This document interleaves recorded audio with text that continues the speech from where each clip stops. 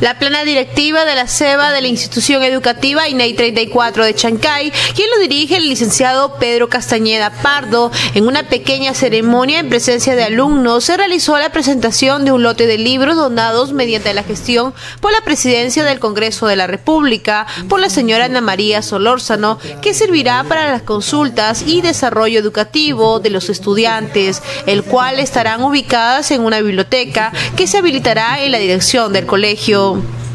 En sus declaraciones, el director del turno noche presentó también la adquisición de un equipo de sonido. hoy vamos a presentar unos libros que hemos conseguido por una gestión que se ha realizado ante el Congreso de la República.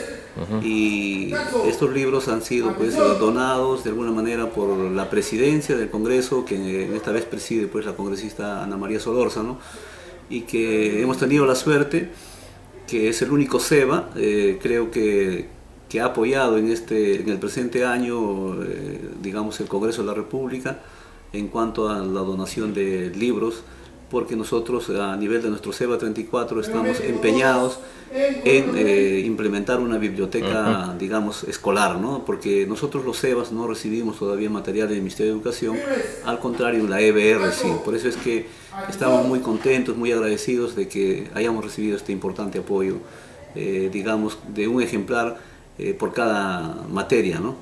Ahora dime, ¿de qué manera va a ser útil estos libros para los alumnos? Bueno, en primer lugar también quiero destacar acá la colaboración, la participación decidida de nuestros estudiantes, que a través del comité de participantes, el COPAE, ellos han hecho una colaboración y vamos a implementar una biblioteca, a pesar que nuestro espacio es reducido, pero no, no, nos falta la voluntad de continuar trabajando en bien de la educación y por eso es que vamos a implementar también una biblioteca al servicio de ellos. ¿no? Los estudiantes estamos trabajando de la mano y en esa medida creo que estamos avanzando. También el día de hoy el COPAI, el Comité de Participantes, eh, ellos con la cuota que ellos este, se percibe, también no teníamos un equipo de sonido para hacer nuestras presentaciones y me siento muy reconocido, agradecido también con nuestros estudiantes que conjuntamente con los profesores el día de hoy también vamos a dar la presentación de un equipo de sonido eh, muy sencillo, muy humilde, pero creo que lo estamos haciendo con todo el interés de mejorar nuestra educación y que la, la comunicación entre estudiante y maestro esté más fluida. Son diferentes materias, en verdad, muy, muy, materias muy variadas, tenemos diccionario, tenemos CDs, tenemos este material para todas las áreas, entonces va a estar disponible a partir de la fecha para que los estudiantes puedan realizar sus tareas y también los maestros, que es más importante, ¿no? para que ellos puedan dejar alguna tarea de investigación y estará pues disponible a partir de la fecha acá en este ambiente y gracias, como digo, también al módulo de de, biblioteca que nos está donando también nuestros estudiantes. Profesores de turno noche que necesitaban los diferentes tomos dieron su opinión señalando que son muy importantes para la educación de los alumnos de este turno. Recién estamos revisando y me parecen muy interesantes los libros. Vamos a seguir revisando eh, este material que recién se ha abierto, hoy día las cajas han estado cerradas. Primero quería hacer la presentación, el director a todos los estudiantes y lo revisaremos y luego lo utilizarán los estudiantes. Este es un libro que se llama Proyecto de Vida y me parece interesante para los primeros grados de, primaria, que en nuestro caso es intermedio. Muy interesante porque los alumnos de SEBA 34 necesitan este tipo de cuentos. A ver, ¿nos puede mostrar? ¿Nos puede mostrar el cuento? Eh? ¿Nos puede mostrar?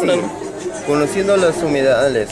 Un cuento infantil que es necesario porque ellos eh, tienen ese conocimiento de vivencia, su realidad, ¿no? Y este tipo de texto es muy importante en esta institución. Justamente esto viene a ser como un instrumento, ¿no? Para los estudiantes. Desde luego que ellos ahora están contentos, es una gran ayuda, como le digo, es un instrumento, ¿no? En este, por ejemplo, en este texto estamos observando por ejemplo, la tierra del cóndor. Entonces aquí nos está dando a conocer que nuestro Perú es, digamos, muy variado. Entonces tenemos que conocer y a través de documentos, qué mejor conocer nuestro Perú. Me alegra bastante porque acá nuestros estudiantes carecen justamente de textos. Ahora van a tener textos. Van a estar al servicio de ellos. Exacto.